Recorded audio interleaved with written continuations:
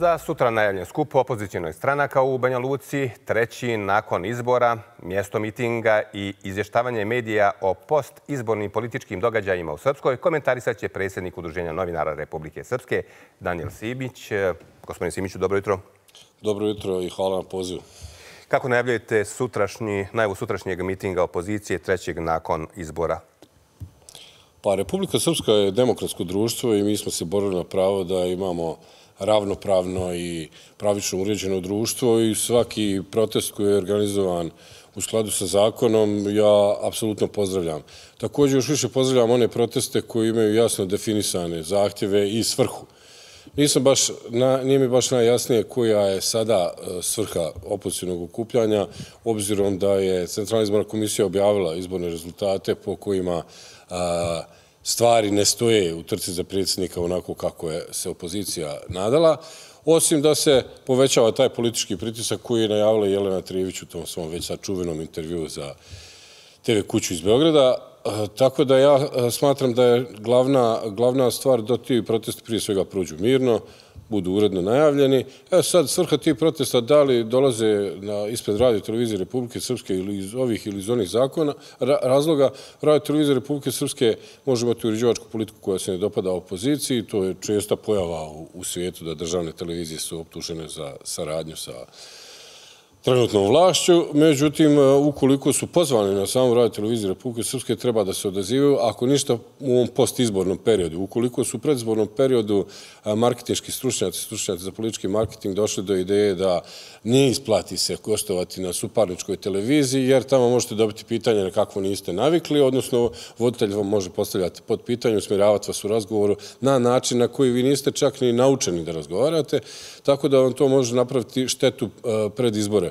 U ovom slučaju izbori su gotovi i e, mislim da bi Radio Televizija Republike Srpske trebalo stvarno da pruži priliku i da opozicijani i jednako rangirani predstavnici vlasti ukršte svoje argumente vezano za određene situacije. Dakle, ponavljam još jednom, e, svaki su e, svaki su protesti poželjni. I sad, što se tiče toga, ja smatram da imamo veliki problem trenutno u Republike Srpskoj zato što ovim razlačenjem saopštavanja rezultata izbora ispali smo iz nekog uobičajenog ritma. Ja još uvijek nisam čuo nikakvu ozbiljnu analizu vezano za raspored parlamentarnih stranaka u Skupštini, kombinacije za sastav nove vlade i slično, što su suštini ključna pitanja, odnosno kako sad stvari stoje, vjerovatno će sve ostati isto ili slično, u smislu da će isti ili slični koalicijni partneri formirati vlast na nivou Republike Srpske, odnosno na nivou državne zajednice. Što se tiče uh, uh, čitavog tog ponašanja opozicije u tom čitavom problemu, jeste da, opet to sam već jednom rekao, znači opozicija onog trenutka kada prihvati mandate, e, ona je priznala izbore i tu se priča završava. Ovo sada izgleda sve kao održavanje vatre kojim se pokušava ostaviti dojam da sa izborima nije bilo sve u redu. Ja slažem e, sa tim da postoji veliki broj ljudi koji smatra da nije bilo određenih regularnosti i tako dalje. Mislim da je izuzetno neophodno za čitavu javnost Republike Srpske da se argumenti tih ljudi uvaže i da se saslušaju ako ništa drugo i sigurno da se neki od njih trebaju usvojiti u smislu pravečnih izbora narednih, jer na taj način jedino možemo izgraditi demokratski sistem u principu da svi učesnici u izbornom procesu budu zadovoljni pravilima učešća u izbornom procesu. I opet ponavljam, nije fair i korektno žaliti se na po recimo vašem mišljenju nepravičan ili e, izborni proces koji ne favorizuje vas, nego favorizuje vašeg protivnika, ali kad uđete u izborni proces, ti izbori se završe nepametno je uopšte govoriti kako ti izbori nisu urađeni po određenim strateškim pravilima onako kako vama odgovara. Jer onda u tom slučaju niste trebali ulaziti u izbornu trku, postoje mehanizme kao bojkotovanje izbora, postoje mehanizme kao e, ovo vrsta parainstitucionalnog djelovanja, ono u smislu dolaska protesta i tako dalje, vršenje van institucionalnog pritiska. Ništa od toga se nije desilo i čini se da je opozicija sa ovakvim vrstama okupljanja trebala ići prije izbora, a ne posle izbora. I nakon što je CIK BiH proglasio, odnosno konstatovao e, rezultat izbora na sva četiri nivoa, opozicija ponavlja zahtjev koji je iznijela i na prvom mitingu u Banja Luci. Treba poništiti, kažu, izbore za predsjednika Republike Srpske. Neki od njih predlažu i da Miloradu Dodiku bude e, onemogućeno da bude kandidat na tim ponovljenim izborima. Kako to vidite?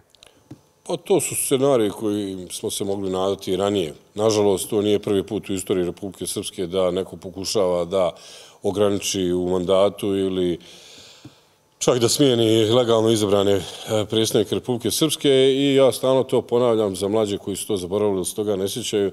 Najveća sramota Republike Srpske desila se sa Nikolom Poplašenom kada je smijenjen demokratski izabran predsjednik jedne zemlje po pravilima koje su tada bila nadzirana, finansirana i potpuno kontrolisana od strane takozvanog međunarodnog faktora, prije svega tu mislim na neke organizacije kao što je OSC, odnosno EBS i slično.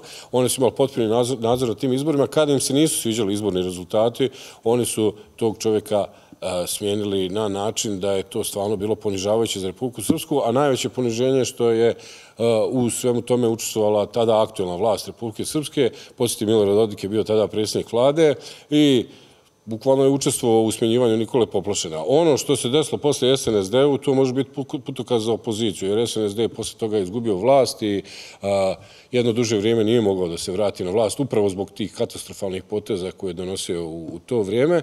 Sada se opozicija nalazi u sličnoj situaciji u kojoj bi nekakvi međunarodni predstavnici trebali donositi odluke koji ograničavaju njihovog favorita kojeg oni u ovom slučaju nisu mogli da pobjede. To bi bilo jako loše za Republiku Srpsku. Ja trenutno ne vidim da će doći do bilo kakvog sličnog scenarija, zato što uz svjetski rat na teritoriji bivše Sovjetske republike Ukrajine, apsolutno domaćim međunarodnim okupacijom, okupatorima, možemo slobodno reći, njihovim snagama, vojnim na terenu, apsolutno ne odgovara bilo kakva vrsta nestabilnosti u Republike Srpskoj, a bilo kakvo skidanje Milorad Dodika, koji bez ikakvog pretjerivanja možemo reći da je najznačajnija politička ličnost u Republike Srpskoj i neko bez koga se ne bi moglo kad bi se izbacio iz političkog sistema, da bi to napravilo ozbiljnu nestabilnost koja trenutno ne odgovara stranom faktoru. I ne zbog toga što oni uvažavaju neke demokratske principe ili vrijednosti, nego prosto iz razloga što im u ovom trenutku ne odgovara kriza u Bosni Hercegovine i mislim da će, zahvaljujući tome, biti zaokružen okvir ovih protesta opozicije i uopšte njihovih zahtjeva, da će jedno vrijeme da se vrti oko toga. Opet ponavljam, nema razloga da se ponavljaju izbori ukoliko su utvrđene nepravilnosti i nezakonitosti na biračkim mjestima koja ne mogu da utiču na rezultate izbora. Može se, zarad pravičnosti te konkretne opštine izborne jedinice ili slično, organizovati ponovni izbori na određenim biračkim mjestima, ukoliko je to zaista neophodno.